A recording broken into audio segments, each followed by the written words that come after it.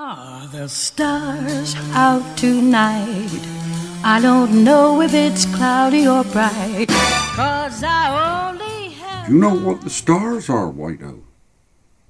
We were sitting on the doorstep of my house, number 40, looking up at the clear night sky. Eh?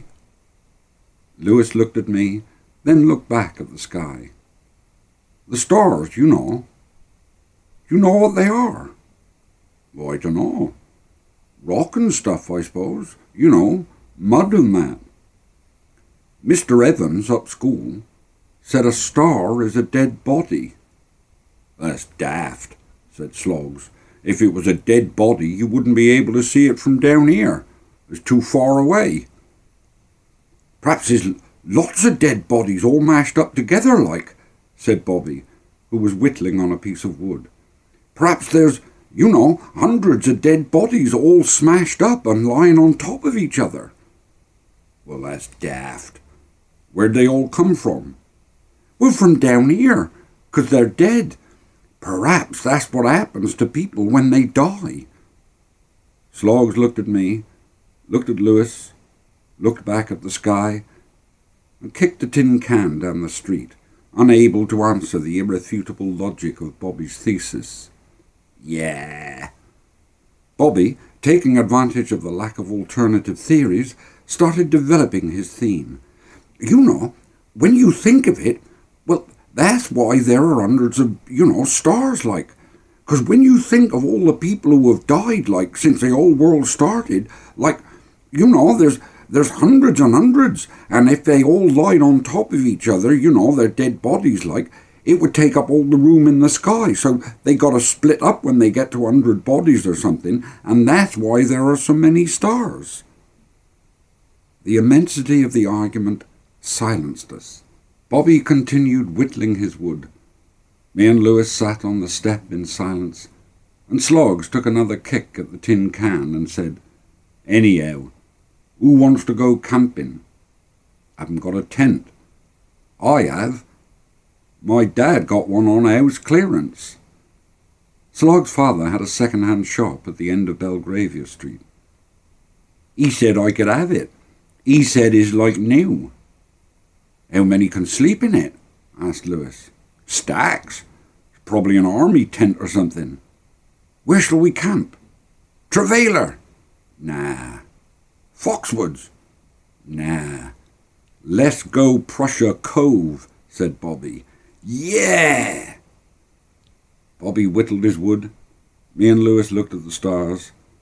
Slogs gave the tin can another kick and said, Are we going to get there? Well, let's walk, said Lewis. Guess on with the is miles, said Slogs. We could hitchhike, I suggested. Nah, you never get a car going along Rosudgeon Road. And anyway, Dirty Dick might pick us up, and then it would take us ages to get there because he'd want us in the back. We'd have some money off him, though, said Slogs. Yeah, said Bobby, but we don't want no money, 'cause we're going to be living wild for weeks. We're going to be eating potatoes and carrots and cabbages and that, and killing rabbits and mackerel and things. I don't like cabbage, said Slogs. I don't like mackerel, I joined in. Bobby looked pensive. My ma says you got to boil mackerel in cold water. That's daft, said Slogs. How can you boil something in cold water? Dunno, but that's what my ma does. How long we going for? I asked. Weeks, said Bobby, maybe months. We could live there for years and nobody would know where we were and we wouldn't have to go to school or nothing. Money would come in handy if we wanted chips, though and if we wanted to come into town and go pictures and that. Slogs liked going to the films. Let's get out there first, said Lewis. I vote we go by bus. It's only about a tanner or something, and I got tenpence on me now. I got a tanner, I said. I haven't got nothing, said Bobby. Slogs guiltily admitted, I got two bob. Slogs always had more money than the rest of us and he was usually willing to share it because he wasn't really in the gang, and was anxious to secure his position. Right, that's it, said Lewis.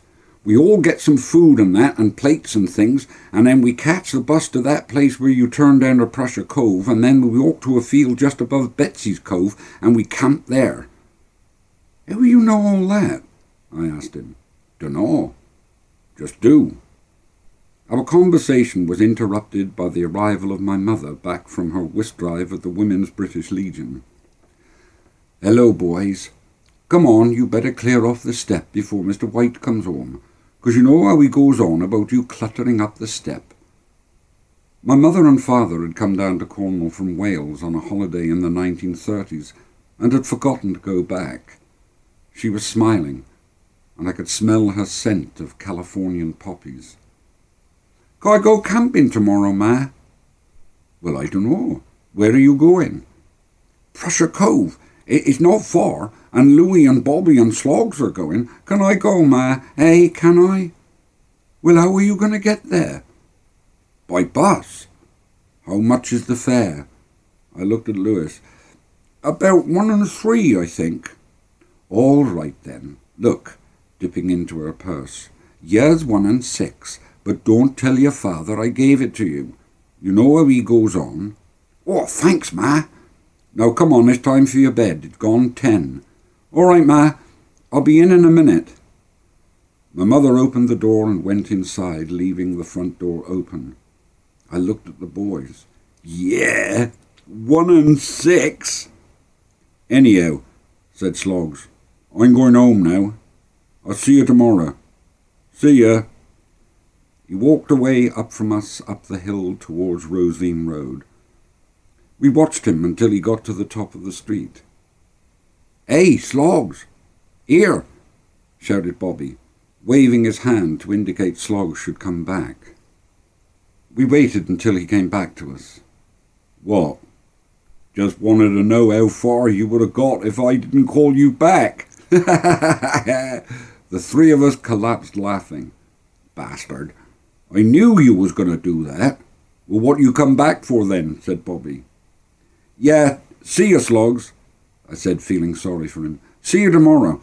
Don't forget the tent and, and food and plates and that. See you, Slogs.